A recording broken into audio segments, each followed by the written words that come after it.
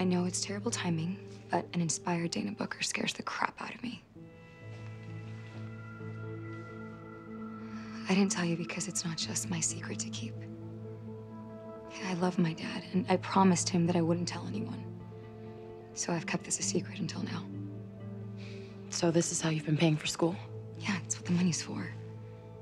I mean, using it is the only way that I can stay here. No, Ava, you could apply for financial aid. You could get a scholarship. This is BHU.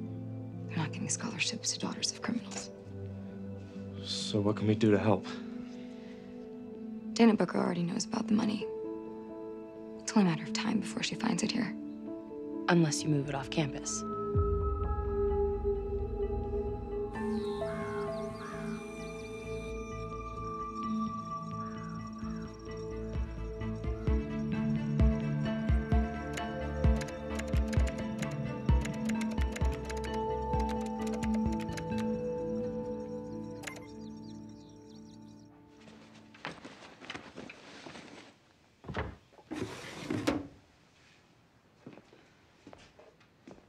Are you sure it's safe here?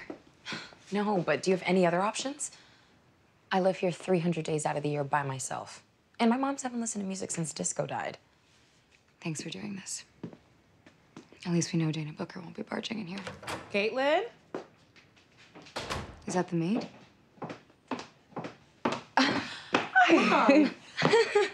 What are you doing here? Oh, Claire personally invited me to the gala, and I thought it'd be a great opportunity to spend some time with you. Hi.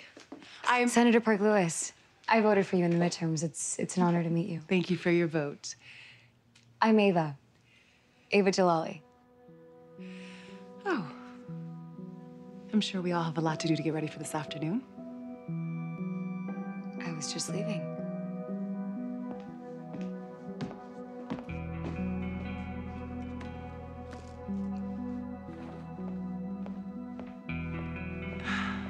That was inappropriate. It's about the optics. Her father is a well-known criminal who's currently a fugitive.